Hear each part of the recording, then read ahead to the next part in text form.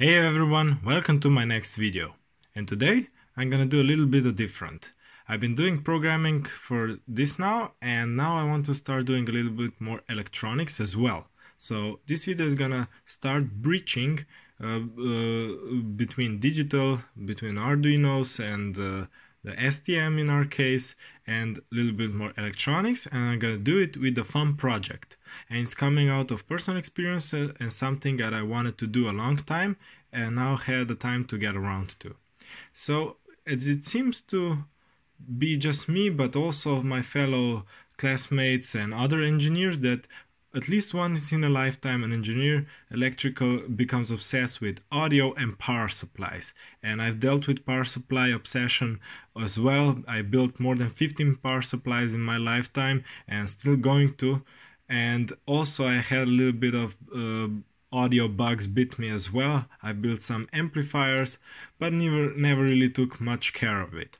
But a little less than a year ago, I got myself a good pair of headphones for suggestion from my friend just to have a little bit better experience listening to music and the experience was night and day i never uh, heard music as well so i wanted to do more i needed an amplifier for my headphones well i made it and i'm really proud of it and still uh, improving on it but then I noticed that in very good music, in very large dynamic range, there was a lot of hissing and sparkling and other kinds of unwanted noise. And it didn't came from the recording, but it came from the computer or phone integrated sound card.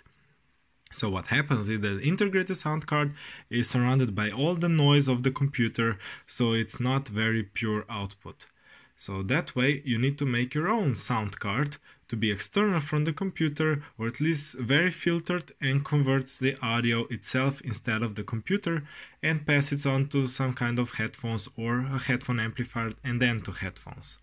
So in this case I wanted to just that, my own sound card to control my headphones or other kind of audio to have the best sound experience that you can get and then I can advance on the amplifiers. So in this case, well, we need a DAC. If you watched a few videos behind, I talked about how to uh, control the DAC peripheral inside the STM32 microcontroller. So that one has a DAC peripheral. So DAC is, of course, when we go to online, it's a digital to analog converter.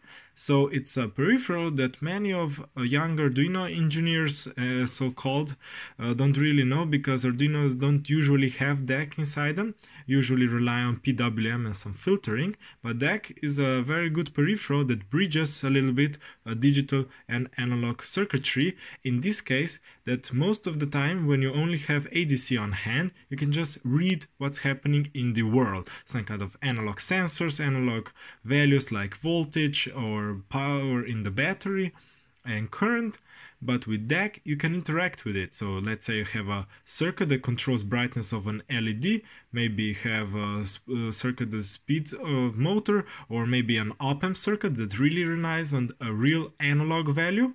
Well you can have a DAC to convert digital value that you want into an analog voltage. And in audio case when you search DAC you get audio equipment. And there's lots of it that can be small ones that can be big ones that can have integrated headphone amps speaker amps that can be very expensive like multi-thousand dollars or stuff like that. So the DACs can get really expensive but audio is very notorious for being for being able to go to very expensive waters and i'm not going to talk about if it's worth it to talk, uh, to have a lot of money invested to it. Everyone finds value in something they buy. I want something that has value that I know it has, and this is the only way to do is to build it by hand, research it, and test it and be satisfied with it. But in the end, when you're satisfied with it, you did a great job and you have a good product on your hand. In this case, I, really want to have a good DAC.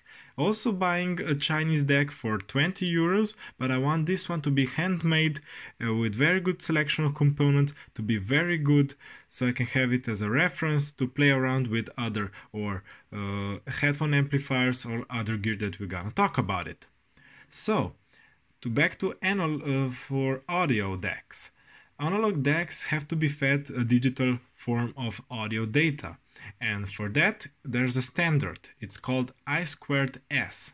And not to be confused with I squared C. It's just an unfortunate common name. Well, it's a serial bus that has been reserved for audio purposes only. Well, you can send out the data by it, but it's optimized and it's made really by NXP or former Philips uh, to be transferring audio data. So in this case, we have a timing diagram of I2S and we have a serial clock, the word select and data. Well, the serial clock and the serial data, you probably know why they would exist, but word select is a new one. Well, word select basically says this data here is for the, let's say, left channel, and this data here is for the right channel. So this is how the DAC knows for which channel it's converting the transfer data.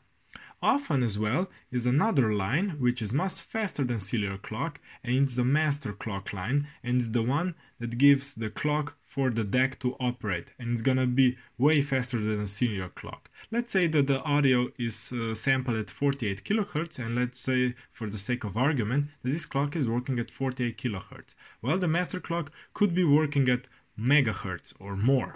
So this is oversampling and that's making the DAC move and actually do its job. And clock is just for the interpretation of the input data for the synchronization. Here we have uh, a little bit of diagram what the uh, the serial clock might be and the master clock would be multiple of this as well. And this is the I squared S. So this is the physical protocol but then the protocol that has handles how the data is transferred is different. Well, the most uh, known is PCM and the DSD, which is the buzzword for new hi-fi and equipment. And the difference, the PCM works exactly like shown here for the I squared S mode, so to say, which is sending in packets, packets of audio for uh, left, right, left, right. Meanwhile, DSD is uh, has much higher clocks and just sending data all the time. It's not in packets, but it's all the time. So it's a direct stream digital or something like that. So it's direct, just streaming data. So that in theory ensures better quality. So with all this said, how do we get this form of data from our computer to our DAC? Well, the answer is so-called some kind of streamer. Well, this is one so this one is very expensive but you'll see a trend over here. It's this one maybe this one from JLA Sounds. Uh, this one's all from them. Amanero they also have and also from AliExpress. Very common one is gonna be this one with the XMOS IC so this uh, this is a very popular IC that can handle audio data. It has multiple clock generators on board and handles the USB interface and the audio side. No matter what you buy, it has to support I2S, sometimes you say SPDIF, so this is another protocol. So it has all these lines. It's, well, let's have a good picture. Oh, so it's ground, DSD for DSD audio as well, master clock, so this is the one that I have talked about, left right clock, which is the main clock, block clock, which is the uh, the clock that we talked about, so this is the block clock and this is the left right clock. So the the naming usually shifts a little bit and the data in the end. So your usb interface or usb to i squared s interface should have these lines and you should be set. No matter the manufacturer you just need the appropriate board size connectors and the specifications. And the main specification that you're looking for is the sampling rate so this is, in this case, 384 kilohertz. So this is the max sample rate of the music you can send. Also, it's the resolution, which is the bit width, or 32 or 24 bit. So in this case, it handles uh, 32 bit over I squared S. So this is what you need to look bit and the frequency for the DSD if you really need it or the PCM which is the one that we're gonna use. So this is all the common things and then it's just the price availability and uh, physical board size and uh, of course the specification and when you buy uh, uh, uh, set on the one you want. I have this one on my desk from a friend, and mine is a little bit different because I wanted to try something else because uh, let's say that that one can work as well, and it's still on the way from China, but I have this one to test my board as well right now. So you have to choose your interface between USB, so the computer, and the digital audio. So now you just need to choose your DAC. Well, there's a lot of them. There are DACs from uh, uh, analog devices, Texas Instruments, and some other companies uh, um, that I don't remember right now, but they're very prevalent in high-end audio and uh, computers. Uh, they have integrated uh, DAC cards in the computers also and you can search them online you can find them and as well DAC has to meet your specification order of bit bandwidth uh, some kind of uh, uh, the faster sample rate the noise the all that. So when your choice is here you'll find something like this. Let's full screen it. In this case Texas Instruments is very known for their Burr-Brown division, which is the one that uh, the company that they acquired a long time ago and they were specializing in uh, analog sections, specifically ADCs, DACs, op amps, uh, transistors. I believe their uh, parent company, the one that actually invented the uh, op amp or something like that. So this is a very well respected IC in the audio forum community and it's a series of family of PCM 179 and there's two, there's four, there's six, there's eight. There are different flavors, but they're the same IC. They have the same distortion and all the numbers, just different uh, have programming options and some don't. And this one, in order to be a little bit of embedded project as well, has programming options as well. It has I2C or uh, SPI mode and we're gonna use my favorite SPI but later we talk about the I2C as well it accepts DSP or PCM, so it has D, uh, DSD, PCM as well with multiple modes, accept multiple bit widths, uh, multiple system clock uh, sampling frequency. The max is 192 kilohertz, which is pretty fast, and not a lot of audio is still sampled at this. So it has very low distortion, so this is for the IC as uh, itself in the appropriate mode and you have all the jazz as well, the supply workings and that. So what do you look for in an IC? Well, in this case, this IC is very uh, not that difficult to interface. It has a lot of pins, but it's a very generous package that can be hand soldered or heat soldered onto a breakout board or onto your homemade PCB. In this case, it's very good made because it has digital and analog side separated. Let's look at it. This side is all digital and this is all analog. It has your digital power supply, digital ground, your reset for the IC, your digital uh, communication line, so this is the uh, SPI or I2C, and here's your audio portion, and this is some additional uh, periphery. On this side we have power supply here, here, ground here, uh, there's a reference pin, another common uh, pins over here, another supply, another ground. So it's mostly supply on this side, obviously. And then we have outputs here and outputs here for left and right. And you're wondering what is minus plus and minus plus and all that. And we're gonna go through that as well. So when you find your IC, you just want to match, uh, see uh, what the pin does, what it can do, maybe see this block diagram which shows what all's happening inside of it, what you need to provide it, maybe see some graphs, how the frequency response is uh, according to the output, how some filters also work. It has lots of, it has a few embedded filters that can be tuned. And here's the total harmonic distortion. So as we can see that the lowest that it can be, which is over here, and let's say supply voltage 5 volts, it's 0.00, let's say, because it's logarithmic, 1 7 over here at sampling for 84 kilohertz. But if you want to uh, listen to music at full 192 kilohertz well you're gonna suffer quite a bit uh, in THD from the IC alone excluding the output stage Also here we have dynamic range and stuff like that. So when you're choosing your DAC, just choose on your parameters that you need. Make sure to check these kind of charts if it uh, fits your needs and then go with it. You're probably gonna work it fine. It's gonna have some uh, tutorials or some example circuits as well inside. And then we have how the audio portion is working for different system clocks. So this is the sampling frequency for the audio and that is the master clock over here. We're gonna look at that as well, how it's working, uh, the PCM timing, how it's done, how the data is coming in. Here is the SPI interface, how it works, uh, I2C uh, protocol, how it works over here, all the register described over here, and then when you go through all that we can go to example circuit and we're gonna talk about it. So oh that's a lot. I got lost. Here we go. Here we go.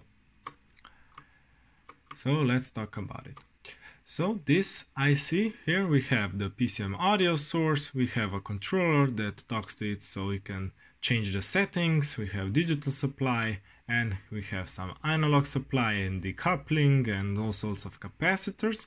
And then we have some op amps and some squares over here. And we have output for left and right channel. So what is going on?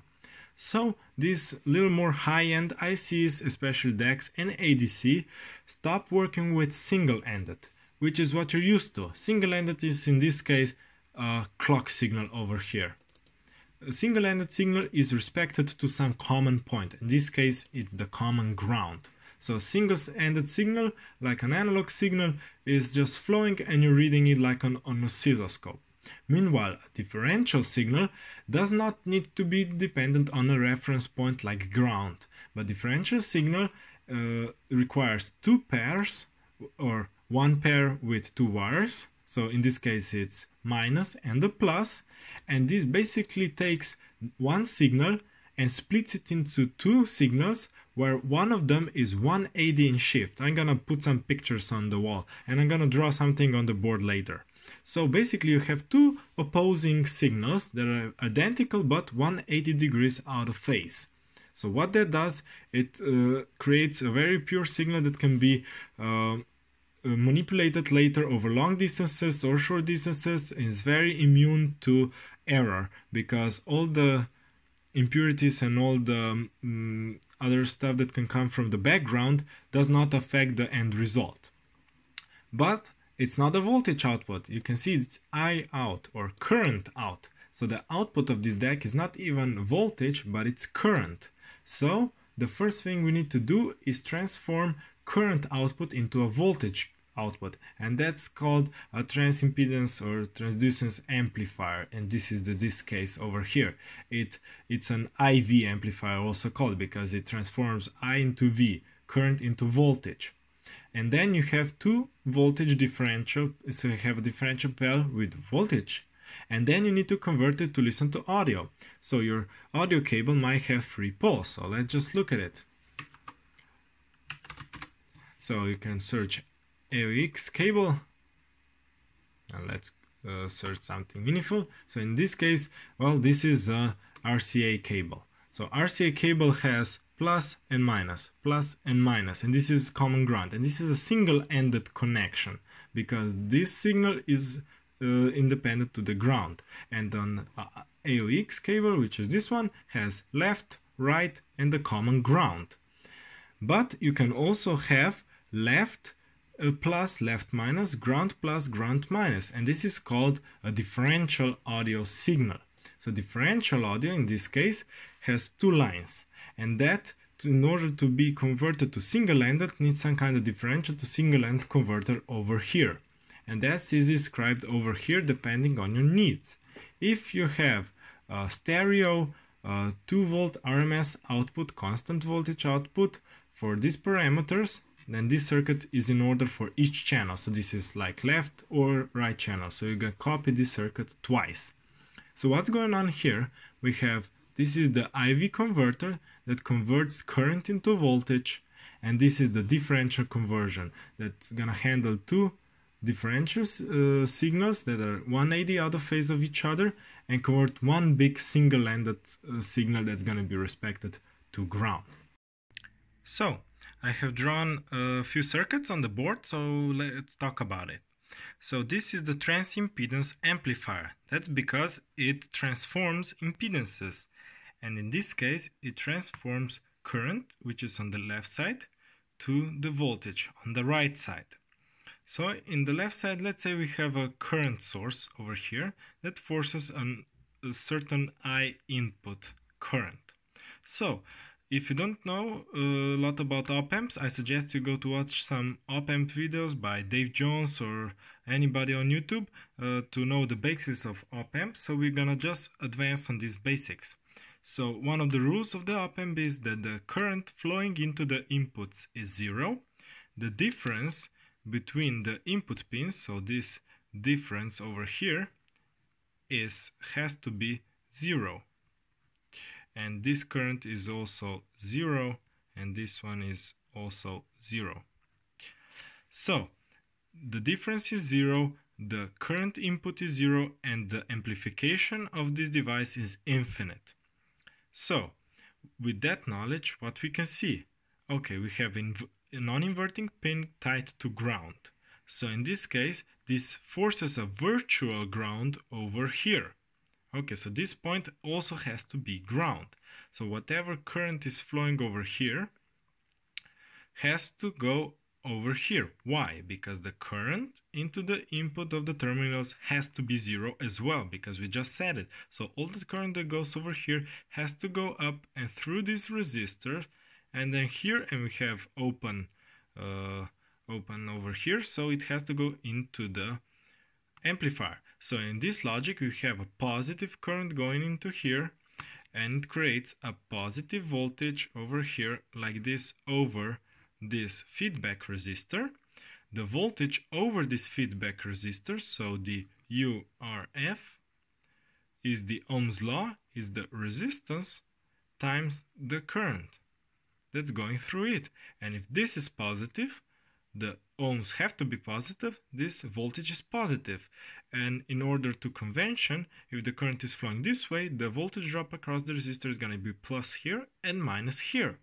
And because we have ground here and a virtual ground here, so this point over here is 0 volts, then if this is the positive, then this is negative according to 0 volts. So over here we have a negative voltage. So what we can see that this amplifier flips polarity and by 180 degrees. So if we have a negative current, we have a positive voltage. If we have a positive voltage, we have a negative current. So that's why the equation for the output voltage is minus input current uh, uh, times the RF resistance, the, the feedback resistance. So we have successfully transformed the current into a voltage. So this is what is going on on the screen over here. So this is this portion over here. We have inverting in the ground and non-inverting non in the ground and inverting has to be forced through this resistor over here. Now, let's talk about uh, quickly about this capacitor. So we have in the circuit effectively a capacitor like this. So what this capacitor does, that at high frequencies, this capacitor is gonna conduct and it's gonna uh, allow current over here. In this case, it's gonna start bridging this resistor. If the resistance goes down, the or here, if the resistance goes down, effective resistance of this resistor, then the output voltage goes down as well. So with higher frequency, let's see, with one hand, if we have U out and the frequency over here, we have the constant output voltage with higher and higher frequency, but at one end it's gonna start rolling off. So this is a characteristic of low pass filter and this capacitor has been chosen so the higher and uh, frequencies and harmonics and certain unwanted frequencies that we don't want to have amplified are uh, filtered out. So this is uh, addition filter. So the next circuit is this one. This is a difference amplifier. The summing amplifier is very uh, simple and it's one of the basics that you should have watched by now. This one is a little bit different. This amplifier has two inputs, a negative and a positive, and it's basically a differential amplifier in this case. It takes a differential signal, by the way, if you didn't see the stuff that I drew before. So let's say this signal is like this, and this signal is something like this. So this, you can see that this portion over here is this, and this portion over here is here. So these are 180 degrees out of phase. And in the end, spoiler, it's gonna be a one twice as big single-ended signal according to ground. And this is what we can go to our speaker or our headphones or stuff like that. So how does it work? Well, if you watch the basics video, I'm gonna do a little trick. I'm gonna cover this and let's say that this part is going to ground. What do you see? I see an inverting amplifier. This is a characteristic inverting amplifier. So this is the inverting input through RG, commonly referred, and RF over here, and the output voltage. So we have inverting op amp. What if I do this? I, I just remove this point and put this point to ground. What do I do? Well, we have an input, we have a voltage divider, so the input voltage is divided. But then we have just inverting output stage if this is at ground. And if we have the equations ready for inverting and non-inverting and we add them together, we have equation for this. And this is called the law of superposition because the component is linear and it's working in linear mode, we can do that. And in the end, you get this the gain is R2 over R1. If these two are equal and these two are equal, this formula uh, is according to this scenario. And that's exactly what happens over here. So let's go to my screen. So this is what happens here. We have two identical input and two identical bridging resistors. So these are resistors that set the gain. So the gain is a little bit lower than 1 so our uh, 270 divided by 560 ohms so it's little around half and we also have some capacitors still forming some kind of low pass filter if this is a, a voltage divider then this bottom that goes to the ground is bypassed so it's filtering and this one also it's low pass filtered as well and this is basically the explanation of these circuits so back to the computer. So I hope that the video that I showed you around these circuits made any sense. And well, I don't want to have this video very much longer. I have uh, have to a little bit split this video into more sections, but don't worry, don't uh, wait until everything. Remember, go ahead and choose your I squared S device I myself am happy with this one, it works, so there's no problem on Windows and Linux, of course. And, well, order it now, because you're probably gonna wait like a month. Or my friend got this into less than two weeks, so he has a lot of luck. But yeah, order this because you can never go wrong with it. This is universal for any DAC you build and any amplifier, any headphones you're gonna get. So the point is to really have it universal. That's why some kind of DACs that have integrated USB, okay, no problem. But DACs that have integrated USB and amplifier, it's a little controversial because you might want a better amplifier, a different amplifier with different flavors, and stuff like that. So we're gonna go over that, why I want to have it integrated or not. So, but I still just uh, recommend it to just find something as lowest price and just works.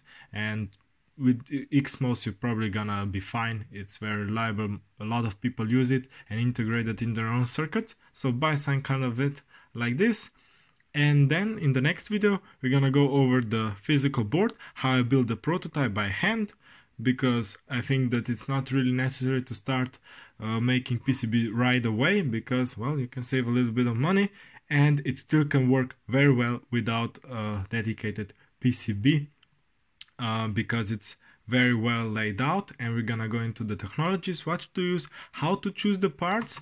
Is this the best parts to use? Are really this one that you really need to use? Uh, and we're gonna talk all about that. So until the next time, thank you for watching and I'll see you next time.